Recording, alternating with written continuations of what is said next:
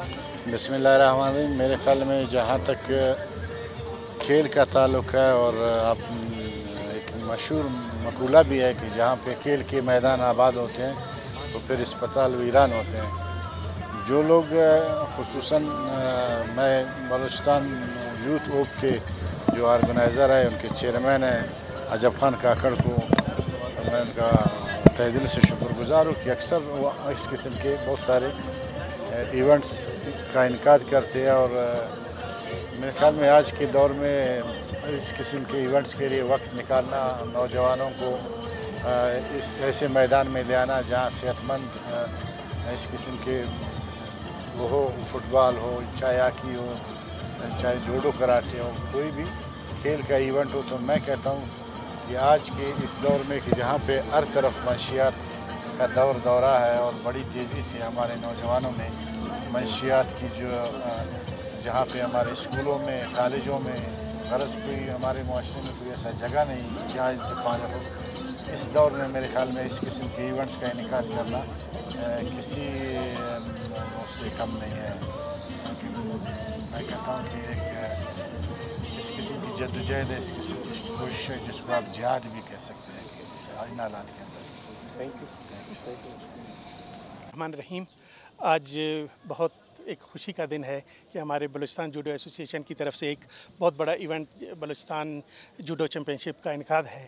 تو میں اس چیز کے لیے ایک درخواست کروں گا اپنے ہمارے جو خصوصاً اسپورٹس بورڈ ہیں، ہمارے جو منسٹر صاحب ہیں، کہ ہمارے جو کھلاڑی ہیں، ان کو ابھی مزید تربیت کی ضرورت ہے، جس کے لیے ایک انٹرنیشنل کھلاڑی کا ہونا اور ایک انٹرنیشنل کوچ کا بلوچستان میں آنا اور یہاں پہ ایک تربیت دینا بچوں کو، تاکہ آنے والے جو جو نیشنل گیمز بلوچستان میں ہو رہے ہیں، تو ان کے لیے جو ہے نا ہم اپنے بچوں کو تیار کرنا چاہتے ہیں۔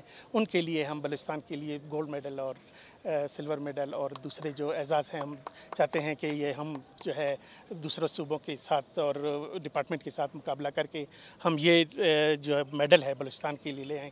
تو میں ایک دفعہ درخواست کروں گا، پھر اپنے جتنے بھی اسپورٹس بورڈ کے ہمارے وہ آفیسران ہیں اور ہمارے سیکرٹری صاحب ہیں، کہ وہ ہمیں جو ہے ایک وہ مہیا کریں انٹرنیشنل کوچ تاکہ ہمارے کھلاڑی جو ہے انٹرنیشنل لیول پہ بھی اپنے صوبے کا اور ملک کا نام روشن کریں۔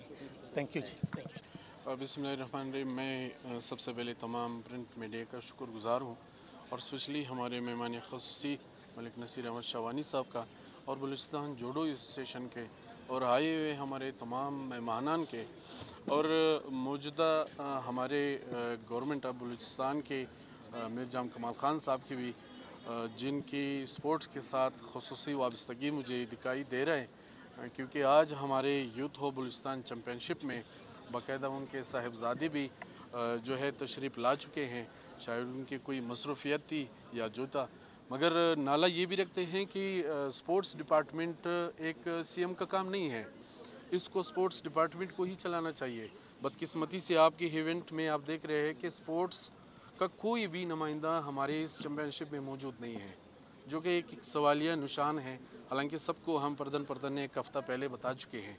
ہم گورنمنٹ آف بلوچستان سے یہ کہنا چاہتے ہیں کہ بلوچستان میں ہم جہاں دیکھ رہے ہیں یوتھ ہوپ کے پلیٹ فارم سے، بلوچستان میں سپورٹس کو نوجوانوں نے اپنی مدد آپ کے تحت ہی فروغ دیا ہے۔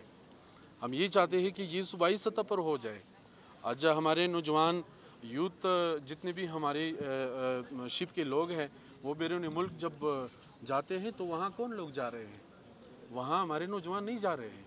وہ ہم اور آپ سب دیکھ رہے ہیں کہ وہاں کون کون جا رہے ہیں۔ یہ نوجوانوں کے ساتھ پولیس جاتی ہے۔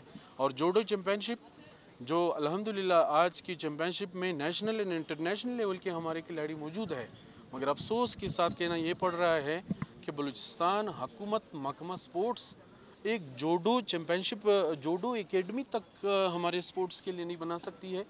اور جہاں پر دعوی کیا جا رہا ہے کہ بیس ارب روپے ایجوکیشن اسپورٹس کے لیے مختص کر دی گئی ہے سو یوتھ ہوپ کو، بلوچستان کی انشاءاللہ تعالیٰ العزیز اسی طرح کی اسپورٹس کے حوالے سے سرگرمیاں جاری رہی و سائی رہے گی انشاءاللہ۔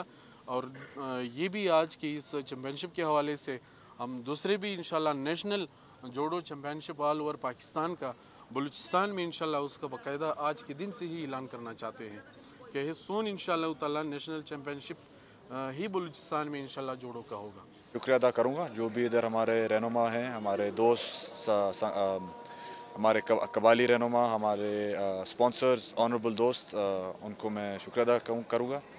جو آپ نے سوال پوچھا ہے میرے سے، یہ جی میں ایک ایک پرسنل بات بتاؤں گا آپ کو۔ میں خود سپورٹس مین ہوں، میں خود جوڈو کرتا ہوں۔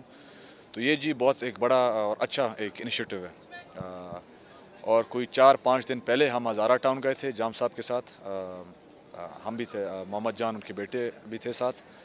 تو میرے رائے سے یہ ایک بہت اچھا ایک انیشیٹو ہے۔ اور میں سمجھتا ہوں کہ ایک پروونشل لیول پہ بھی اور فیڈرل لیول پہ بھی یہ اس کو اٹھانا چاہیے۔